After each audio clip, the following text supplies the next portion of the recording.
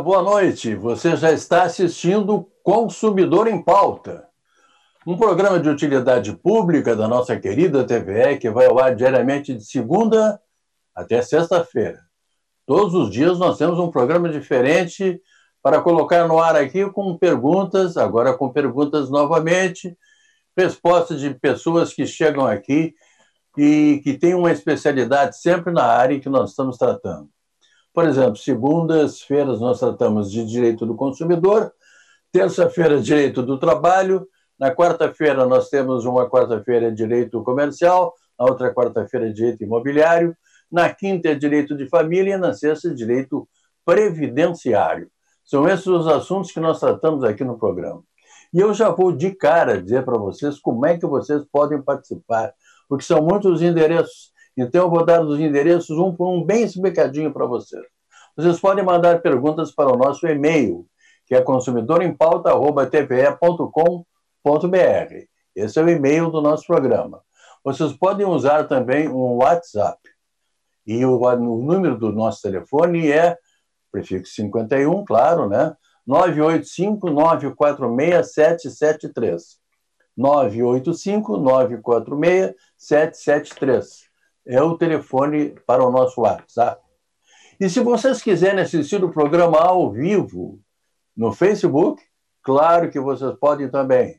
E o endereço é facebook.tve, é, aliás, ponto, é, facebook.com traço TVE, um traço assim, né? TVE, uma barra, tve.com, aliás, TVE Pública RS. Vou repetir tudo de novo aqui para que vocês entendam bem. facebook.com barra TVE Pública RS. Então, esses são os endereços para vocês assistirem o nosso programa ao vivo e para mandarem as perguntas também. O nosso programa é reapresentado diariamente às 7 horas da manhã. Esse programa de hoje você vai ver amanhã perdeu qualquer pergunta, né, para qualquer resposta, pergunta amanhã você tem a chance de ver novamente o programa às 7 horas da manhã. Levantar mais cedinho é bom, assim, nesse tempo de quarentena, já não tem nada que fazer, né? Então fica levantando cedo. Vamos então hoje tratar de direito previdenciário. E eu tenho um prazer muito grande em ter comigo mais uma vez aqui no programa o doutor Luiz Gustavo Ferreira Ramos. Olá, doutor Gustavo, tudo bem? Boa noite, Machado. Boa noite a todos os nossos telespectadores da TVE. Muito bom estar de volta no programa. E eu gostaria, Machado, se me permite, antes de iniciar aqui, de tratar do, que, do direito previdenciário, que é o que fazemos aqui nesse programa, de fazer um cumprimento muito especial à TVE, uh, que está proporcionando aos alunos da rede pública do estado do Rio Grande do Sul aulas via TVE. Eu achei isso, essa iniciativa simplesmente fantástica. Nesse período tão difícil que as nossas crianças estão em casa, essa iniciativa da TVE ela é digna de elogios. Acho muito bacana mesmo. E fazer um agradecimento especial também a toda a técnica da TVE que está possibilitando que o nosso programa tenha voltado ao ar né, com a força de sempre. Então, um forte abraço a todo o pessoal aí da TVE. Muito justa a homenagem que o doutor Gustavo faz ao pessoal da técnica da TVE, a direção da TVE, é o pessoal todo da nossa querida TVE. A TVE é tão querida de todos nós que nós já nos sentimos como parte integrante da TVE. Ela está na nossa vida, assim como nós estamos na vida da TVE fazendo esse programa. Doutor Luiz Gustavo, eu tenho certeza absoluta que o senhor está é, passando, como todos nós estamos passando, por momentos especiais com relação à profissão que o senhor desenvolve, ao tema que o senhor trata, que qual seja uh, o tema da previdência, ou do sistema previdenciário. Então, eu sei que tudo isso está sofrendo um, alguma coisa por causa da quarentena, da pandemia que foi que existe no Brasil. Então, eu gostaria que o senhor abrisse o programa falando exatamente nisso. Sem dúvida, sem dúvida, Machado. Esse, esse momento ele está sendo especial e diferente para nós todos, né? Nossas emoções ficam à flor da pele já. Uh, o nosso modo de atender os clientes mudou muito eu particularmente que sou um, uma pessoa um tanto quanto analógica, diria eu, que não sou muito dado a tantas tecnologias, estou aprendendo agora, né, com o pessoal da TVE também a, a, a gravar esses programas, a apresentar esses programas via uh, todas essas ferramentas que nós temos. Então a gente está reaprendendo muita coisa, está aprendendo e reaprendendo, né? O contato com o cliente tem sido através de telefone, de, de reuniões virtuais. Então está está mudando, está difícil, está difícil trabalhar, né? Louco de vontade de voltar à rua, de voltar a fazer uma sustentação oral no tribunal, sabe? Então, muita coisa mudou na nossa vida. Mas a gente sabe que é necessário que, que por um tempo continuemos assim, porque afinal de contas precisamos nos cuidar e cuidar daqueles que amamos, né? Uh, nossos pais, que já têm uma certa idade, né? E, enfim, temos que ter cuidado com, com as pessoas que nos cercam. Então, é necessário que fiquemos em casa e que vamos dia a dia nos reinventando, né? Infelizmente é assim que temos que seguir por algum tempo ainda. Os pais do doutor Luiz Gustavo e eu estamos naquele grupo, né? Aquele grupo chamado Grupo de Risco. Mas felizmente estamos todos bem, graças a Deus.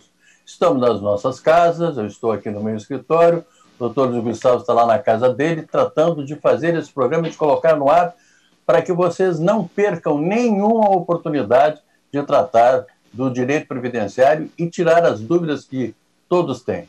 E estamos bem também, doutor Gustavo, estamos no Facebook agora ao vivo. Que maravilha. Pois é. Então tá, deixa eu começar com as perguntas, então, é, para o doutor Luiz Gustavo. É, são muitas as perguntas que chegam dos nossos telespectadores e nós vamos, então, pedindo ao doutor Luiz Gustavo que esclareça a todos, a todos eles. A primeira é da Elaine, aqui de Porto Alegre. Ela diz o seguinte: tenho dois filhos e recebo duas pensões por morte. Agora começou a receber o Bolsa Escola, mas o INSS diz que ela perderá as pensões por esse motivo.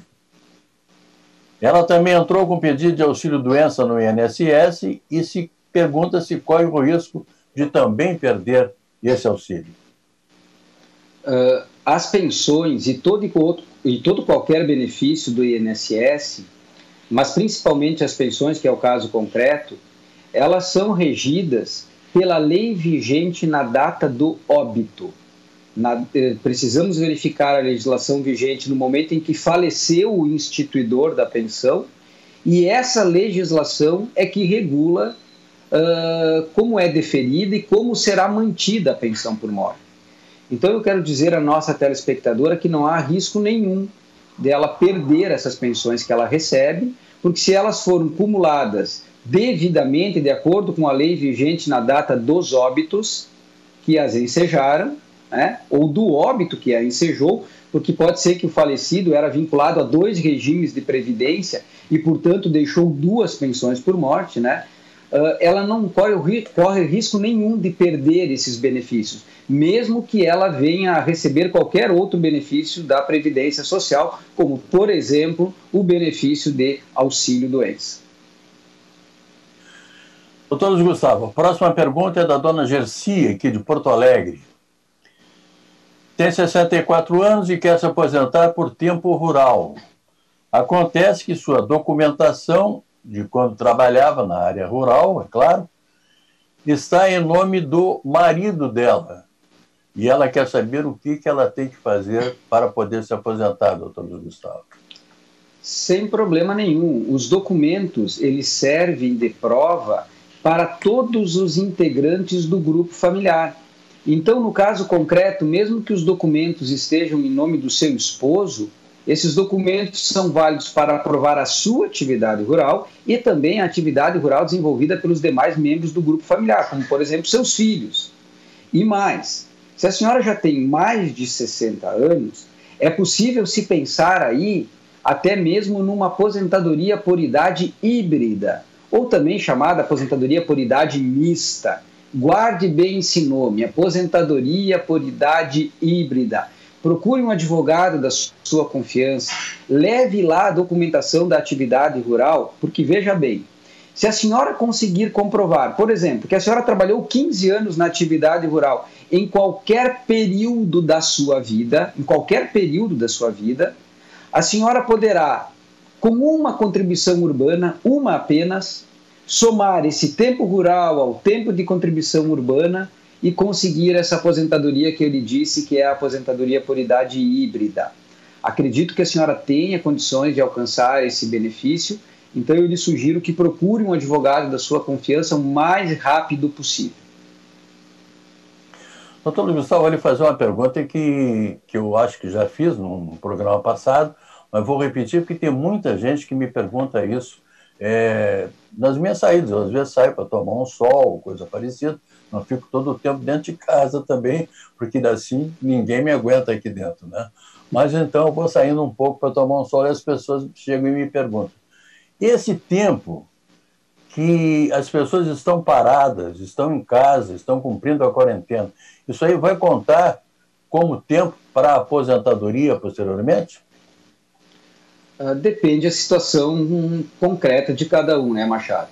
Se é um trabalhador que tem carteira assinada, que está com o seu contrato de trabalho uh, normal, né, ele só está afastado, trabalhando remotamente, por exemplo, esse tempo vai contar porque haverá contribuição previdenciária no período.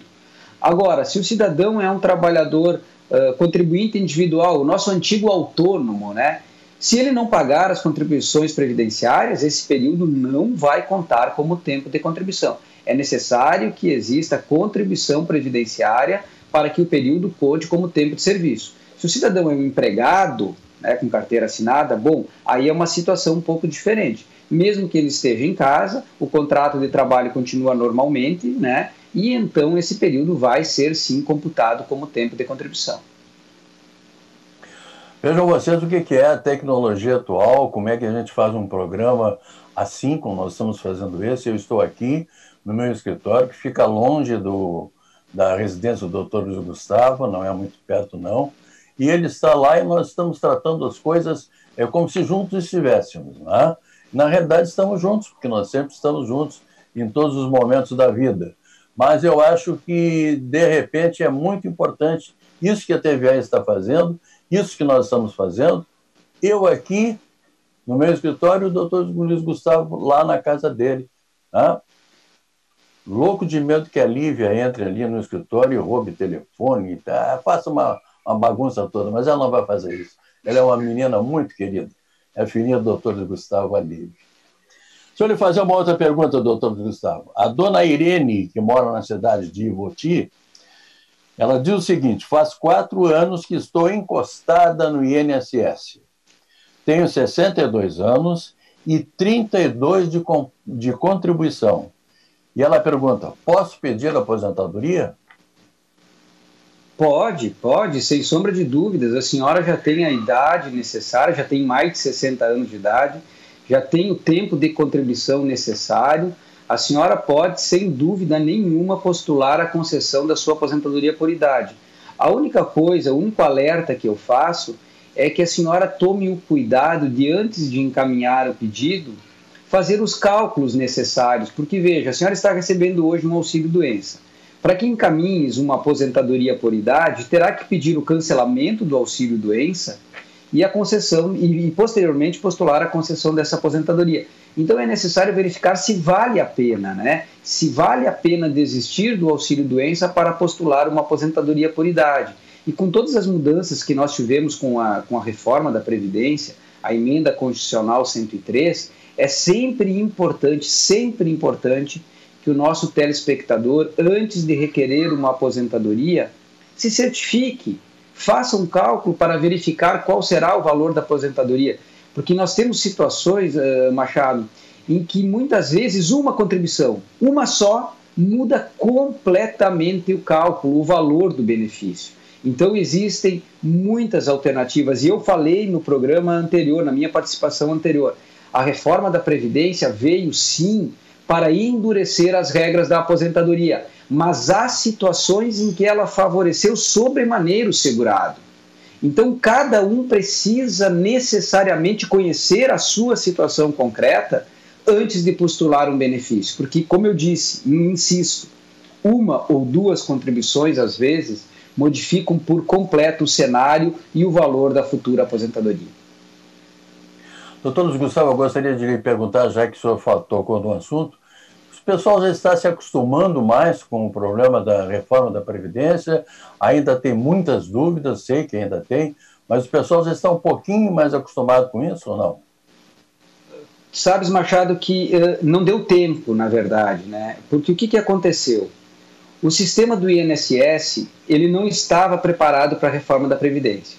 Então nós iniciamos, a reforma veio em novembro do ano passado. Nós iniciamos o ano de 2020 com milhares, milhares de benefícios represados lá no INSS. Porque o INSS não analisava os pedidos, porque o seu sistema não estava pronto para tanto. Agora, lá por, se eu não me engano, no mês de abril, o INSS começou a deferir os benefícios. Final de março e início de abril começaram a ser deferidos os benefícios calculados segundo a reforma da Previdência. Só que logo em seguida nós tivemos todo esse problema do coronavírus. E aí a nossa vida se transformou. Eh, então, muito pouco se discutiu ainda a reforma da Previdência. Nós mesmos, eh, advogados que militamos no direito previdenciário, estamos sendo surpreendidos por decisões do INSS. Eu te confesso que eu, eu particularmente, fui surpreendido positivamente com uma decisão do INSS a respeito da contagem de tempo de auxílio-doença, por exemplo. Num programa a gente pode, num próximo programa a gente pode tratar um pouquinho mais dessa situação, mas só para ficar aqui a, a, notícia de que o INSS está trabalhando, né? Os servidores estão trabalhando, estão despachando os processos e eu tenho sido surpreendido uh, positivamente com algumas decisões. Claro, temos muitos problemas, muitos problemas, principalmente agora, né, que as pessoas estão necessitando do auxílio doença e as agências estão fechadas, está muito difícil. Mas eu acredito que assim que essa pandemia passar, assim que as nossas vidas começarem a retornar ao seu caminho normal, hum, as coisas vão melhorar também no INSS. Doutor Luiz Gustavo, enquanto eu vou preparando aqui a próxima pergunta, o senhor pode ajeitar aí a sua, a, o seu fone, que eu tenho a impressão que estava dando um probleminha, então é. pode ajeitar tranquilamente. A próxima pergunta é do João Pedro, que mora na cidade de Osório. Ele disse que trabalha numa companhia que faz manutenção para a CE. Sempre lidei com energia elétrica, subindo em postes e torres. Tenho 60 anos e 27 de contribuição. Gostaria de saber se meu trabalho é considerado especial e se posso pedir aposentadoria. E daí, doutor Gustavo, pode ou não pode? Sim, sim, é, é, é considerado uma atividade especial, sim. Uh, nós temos um cenário diferente a partir de novembro, né, quando veio a reforma da Previdência, mudou muito a aposentadoria especial.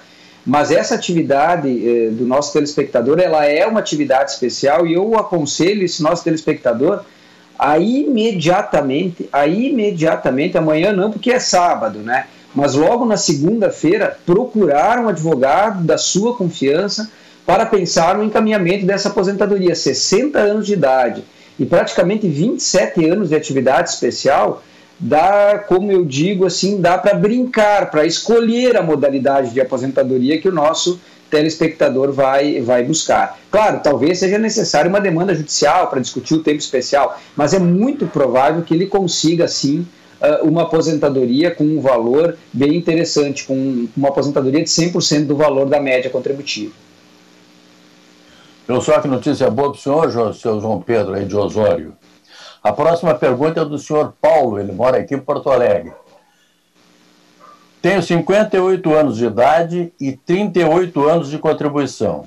A soma dá 96. Posso pedir aposentadoria sem que o fator previdenciário me prejudique? Pergunta o senhor Paulo. Pode, pode pedir. Uh, só eu precisaria saber se esses 96 pontos foram implementados antes de novembro. Acredito que sim. Tá? E, se os, e se esses 96 pontos foram implementados até o dia 13 de novembro do ano passado, o nosso telespectador tem sim direito a uma aposentadoria de 100% da média sem aplicação do fator previdenciário. Bom, Caso ele não tenha implementado os 96 pontos até novembro, a situação modificou um pouquinho e agora ele precisa atingir 97 pontos para poder se aposentar e, e houve também uma modificação no critério de apuração do valor da aposentadoria. Mas eu acredito que, pelos dados que o nosso telespectador nos passou, ele já implementou uh, o direito à aposentadoria antes da reforma da Previdência. Ele tem, uh, meu caro Machado, o que nós uh, chamamos de direito adquirido à aposentadoria de acordo com a legislação anterior. Seria uma aposentadoria muito interessante e é muito importante que o nosso telespectador procure um advogado para encaminhar o quanto antes esse benefício.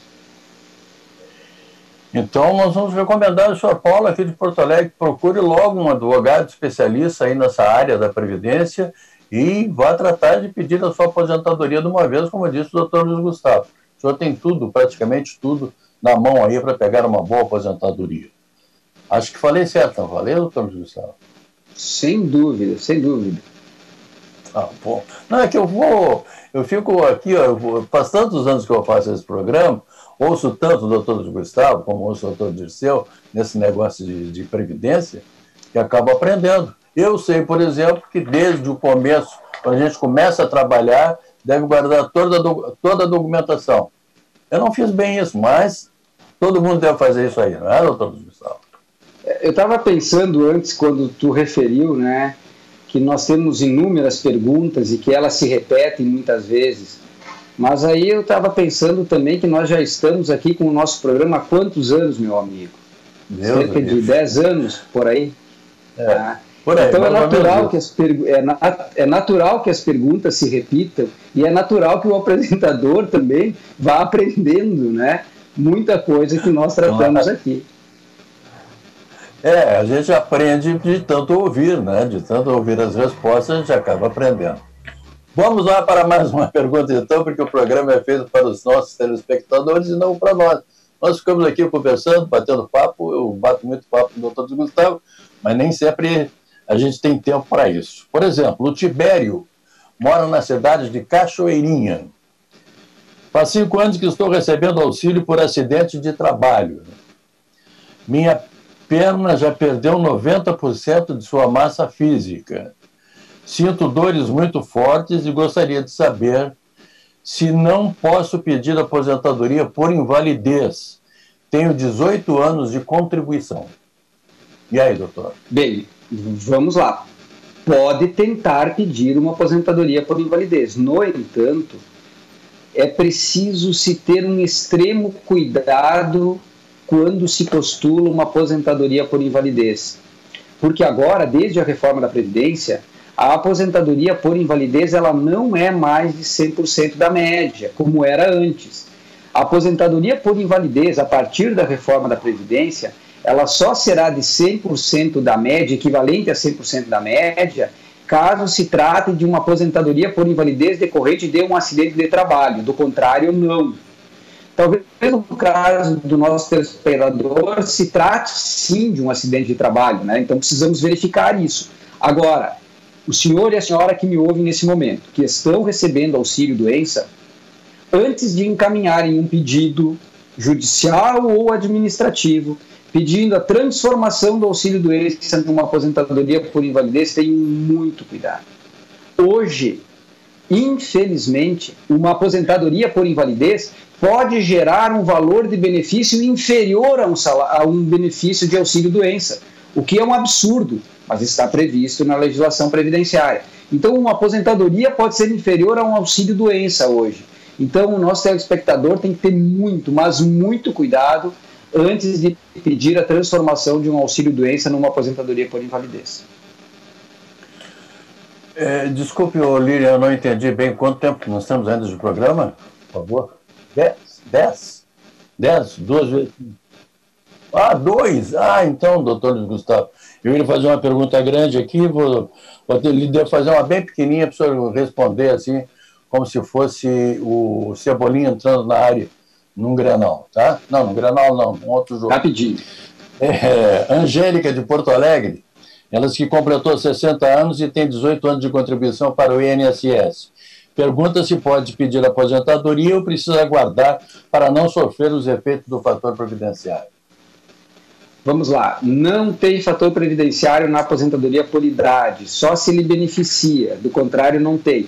Mas se a nossa telespectadora completou 60 anos agora, no ano de 2020, ela não atingiu a idade mínima, porque em 2020 a idade mínima para a aposentadoria da mulher é 60 anos e 6 meses. Ou seja, se a mulher completou 60 anos até 31 de dezembro de 2019, pode se aposentar porque completou 60 anos no ano de 2019. Agora, se não tinha 60 anos lá em 2019, agora precisa comprovar 60 anos e meio e ter no mínimo 15 anos de contribuição. Agora, fica aqui um conselho para a nossa telespectadora. Com 18 anos de contribuição, dá para fazer um cálculo bem bacana nesse valor da aposentadoria uh, por idade, então procure um profissional da sua confiança, faça cálculos, faça simulação. Talvez o valor da aposentadoria da senhora, que está lhe esperando logo ali adiante, lhe traga uma grata surpresa. Doutor Luiz Gustavo Ferreira Ramos, é um prazer muito grande conversar com o senhor e tratar desses assuntos tão importantes que são os assuntos da Previdência, da nossa aposentadoria. Muito obrigado, doutor Luiz Gustavo. Volte sempre. Eu já encerro e quero lhe confessar, uh, meu amigo, que estou com muita saudade de lhe dar um abraço. Tá? Então fique bem aí, Também. se cuida, mas logo, logo eu quero muito poder estar contigo e te dar um abraço. E um abraço a todos os nossos telespectadores também. Doutor Luiz muito obrigado. A recíproca é verdadeira. Eu quero lembrar a vocês que nesta segunda-feira eu estarei de volta aqui às 6 horas da tarde. Esse programa vai ao ar amanhã às 7 horas da manhã também.